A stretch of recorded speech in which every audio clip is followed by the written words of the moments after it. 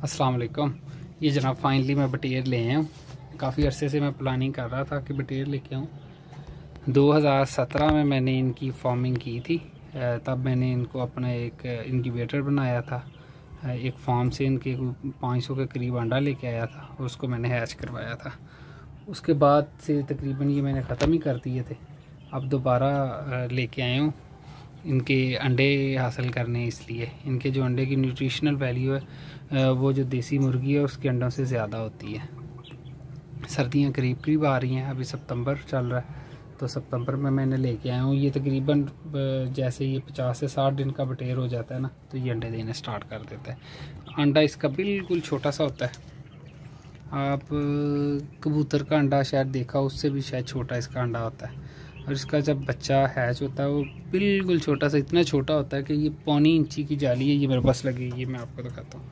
वो इसमें से भी आसानी से गुजर जाता है। इनको सिर्फ़ साफ़ सुथरा और खुश्क माहौल चाहिए होता है।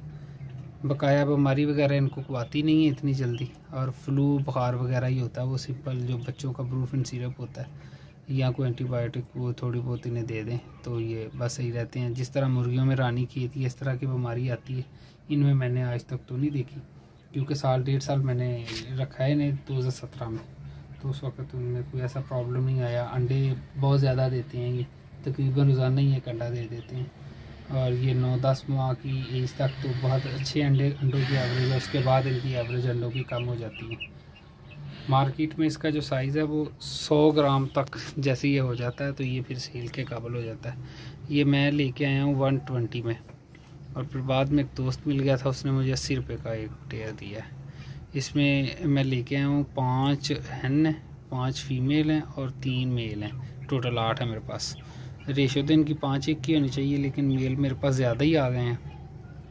तो वह देखेंगे इनमें से कोई एक दो मेल जो है ना, हलाल करके खा जाएँगे। अभी देखते हैं इनमें से जो ज़्यादा आपस में लड़े ना तो उनमें से एक दो जो है ना वो खा जाएँगे हलाल करके।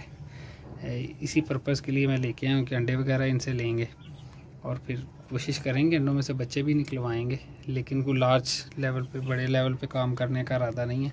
बस छोटे घर के लिए, शौक़ के लिए अपना मैं लेके आया नीचे इनकी ये मैंने घास फूस डाल दिया है। इनकी खुराक की बात करें तो सिंपल जो ब्रैलर चूज़े को खुराक डालते हैं, वही खुराक इनको डाल दी है ग्रोथ वाली। और जब आपने अंडे लेने हैं तो वो फिर पचास से साठ दिन बाद ही अंडे देना स्टार्ट कर देता है। उससे पहले ग्रोथ वाली फ़ीड या ये बाजरा वगैरह कोई भी इस तरह की, घर में जिस तरह मुर्गियाँ होती हैं ना, जो भी चीज़ मुर्गियाँ खा जाती हैं, ये भी वो सारी चीज़ें खा जाती हैं। कीड़े मकोड़े, ये वो छोटे मोटे, सारी ये चीज़ें खा जाती हैं। बटेर जो है।